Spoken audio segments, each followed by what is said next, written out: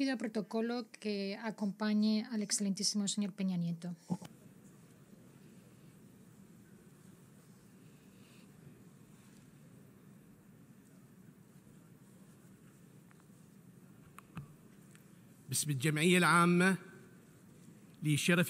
En nombre de la Asamblea General, tengo el honor de dar la bienvenida a las Naciones Unidas al excelentísimo presidente Enrique Peña Nieto, presidente de los Estados Unidos de México, a quien invito a dirigirse a la Asamblea. Tiene usted la palabra, señor.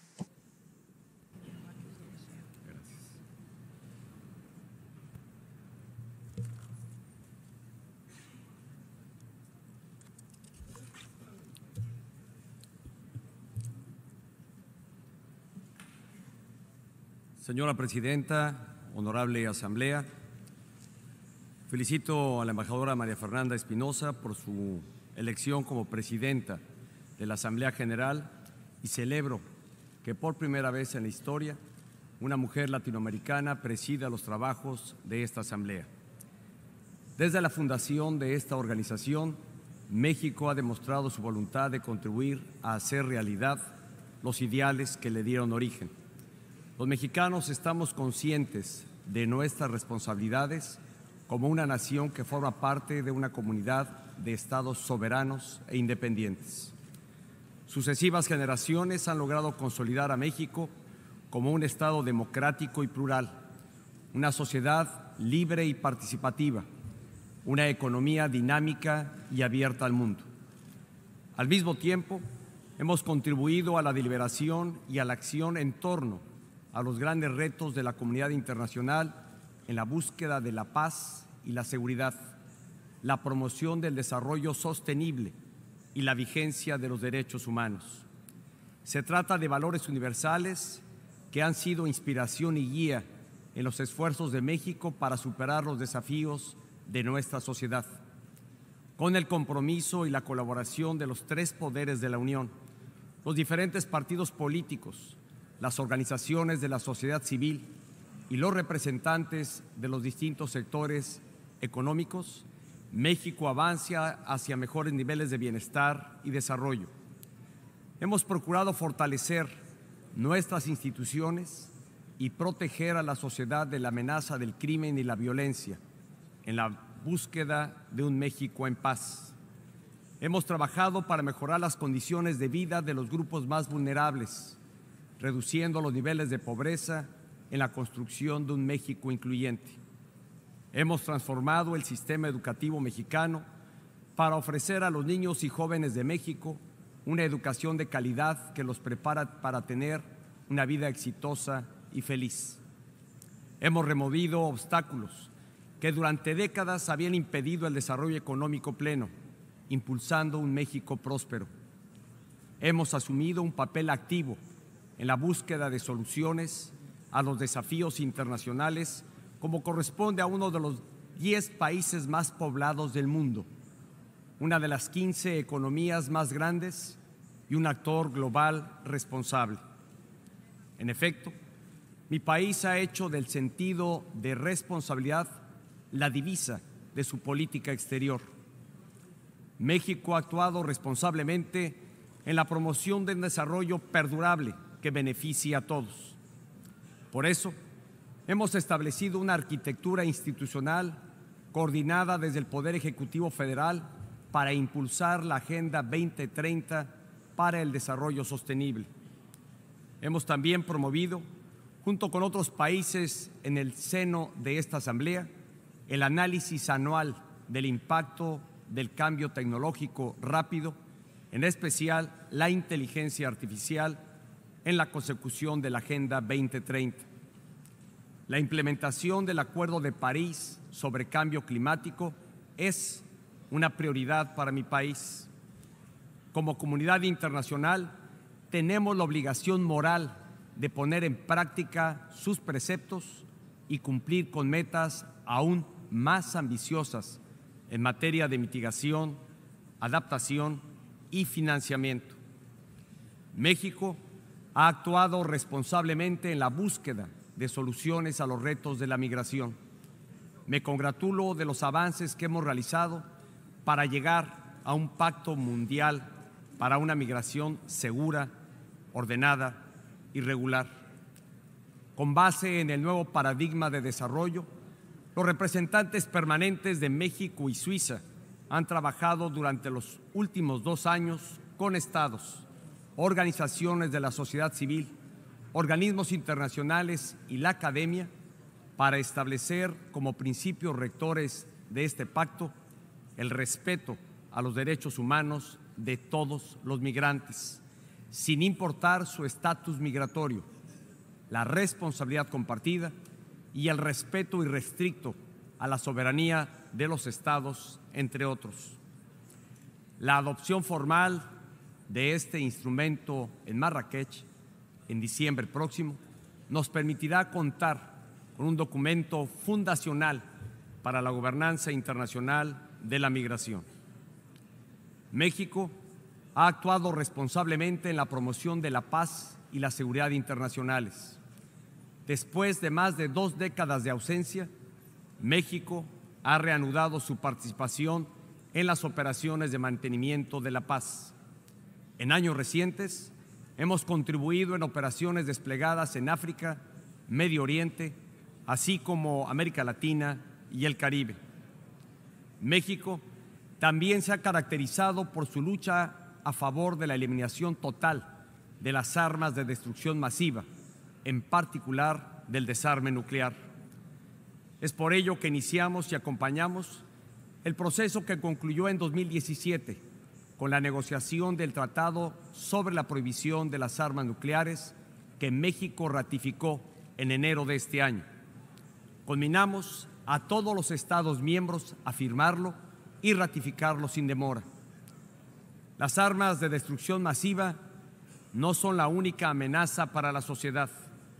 El tráfico ilícito de armas es uno de los más grandes retos a la seguridad interior que, como muchos otros países, México ha tenido que enfrentar.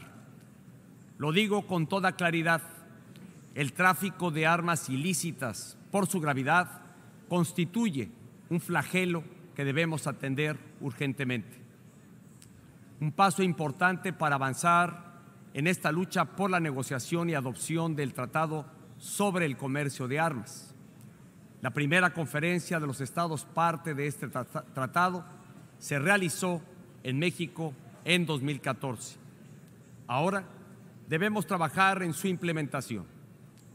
Los resultados de la sesión especial de la Asamblea General sobre el problema mundial de las drogas de 2016 son un parteaguas en el régimen internacional de control de drogas. Su implementación nos permitirá transitar de la mera prohibición a una eficaz regulación que conjugue los enfoques de prevención, salud pública y derechos humanos. México ha actuado responsablemente en la promoción de los derechos humanos Reconocemos que nuestro país aún enfrenta importantes retos en materia de derechos humanos y por ello hemos implementado políticas públicas específicas para atenderlos. México ha mantenido su apertura al escrutinio internacional porque sabemos que es un valioso instrumento para fortalecer nuestros marcos jurídicos e impulsar los derechos humanos en el país. La comunidad internacional debe seguir promoviendo, como parte de sus esfuerzos a favor de los derechos humanos, el respeto a principios democráticos fundamentales en todo el mundo. La usurpación de poderes, la violación sistémica de derechos políticos, la ruptura del orden democrático y la crisis humanitaria que ocurre en algunos lugares del continente americano es un tema que nos preocupa profundamente. México continuará haciendo sus mejores esfuerzos diplomáticos para que la democracia, la paz y el respeto a los derechos humanos se restablezcan en todos los rincones del continente. Lo haremos siempre buscando soluciones pacíficas acordadas por los ciudadanos de esos países, con pleno respeto al principio de no intervención. Como lo hemos hecho de manera invariable en el pasado, hoy México reitera el llamado a poner fin al bloqueo comercial y financiero a Cuba. México cree que la solución de los problemas se debe encontrar por la vía del diálogo y la negociación. Estoy convencido de que el fin de este bloqueo traerá beneficios para toda la región. Hoy, en el escenario internacional, se observan tendencias que parecían superadas y que en el pasado demostraron ser contrarias al desarrollo, como la invocación de nacionalismos excluyentes, el retorno de prácticas comerciales proteccionistas y el cuestionamiento y la erosión del multilateralismo. Se trata de políticas que promueven la exclusión, la exclusión política de las minorías, la exclusión social de los grupos vulnerables, la exclusión económica de los menos favorecidos y la exclusión cultural de quienes viven o piensan de manera diferente. Ante estas tendencias preocupantes, en este foro universal reafirmo la importancia que tiene para México el multilateralismo y la cooperación internacional. La experiencia demuestra que el multilateralismo es la mejor manera de defender la soberanía y la dignidad de cada Estado y al mismo tiempo de contribuir a la seguridad y el bienestar de la comunidad de naciones. Es por ello que todos los miembros de esta organización debemos reafirmar nuestra confianza en ella y comprometernos a fortalecerla. De manera particular, México hace un llamado a los países miembros para, primero, lograr el consenso para una reforma integral del Consejo de Seguridad que fortalezca el multilateralismo, que no admita nuevos miembros permanentes y que establezca periodos de participación más largos para los no permanentes. Asegurar que la Agenda 2030 para el Desarrollo Sostenible, que constituye una verdadera Carta Social Internacional para el siglo XXI, se convierta en una guía global eficaz para que nadie se quede atrás. Tercero, fortalecer en todo el mundo el régimen de derechos humanos. Estamos seguros de que el nombramiento de la señora Michelle Bachelet como alta comisionada para los derechos humanos fortalecerá a este importante pilar de la organización. Cuarto, cumplir plenamente con las resoluciones del Consejo de Seguridad para salvaguardar la paz y la seguridad internacionales. Nos alientan los avances en el diálogo entre la República de Corea y la República Popular Democrática de Corea. Al mismo tiempo, reiteramos el llamado a que se cumplan las resoluciones del Consejo de Seguridad respecto a la desnuclearización completa de la península coreana. Señora Presidenta, mi país vive actualmente un periodo de transición democrática entre gobiernos, con respeto irrestricto a las libertades políticas y económicas de los ciudadanos. Este cambio de administración se da en un ambiente de certeza y orden de estabilidad económica y paz social. A pocas semanas de concluir mi mandato como presidente de México, esta será mi última intervención en este, el mayor foro de la comunidad internacional. Durante los últimos seis años he constatado que el diálogo, la cooperación y un sistema internacional basado en reglas son nuestra mejor opción para lograr soluciones justas, compartidas y perdurables a los retos globales. Construir un mundo de paz, amistad y cooperación internacional nunca ha sido tarea fácil. Hay quienes optan por la exclusión y la discordia. También están los que eligen ser meros observadores en lugar de verdaderos agentes de cambio.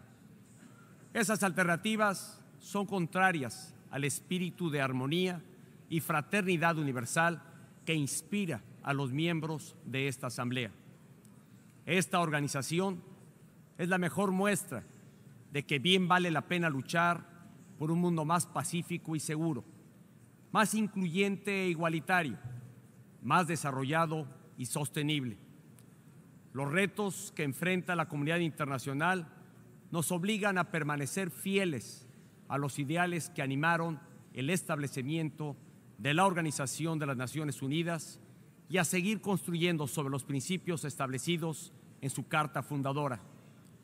Cumplamos todos con responsabilidad los compromisos que nuestros estados han asumido individualmente en beneficio de cada nación y al mismo tiempo de la comunidad internacional en su conjunto. Por su atención, muchas gracias.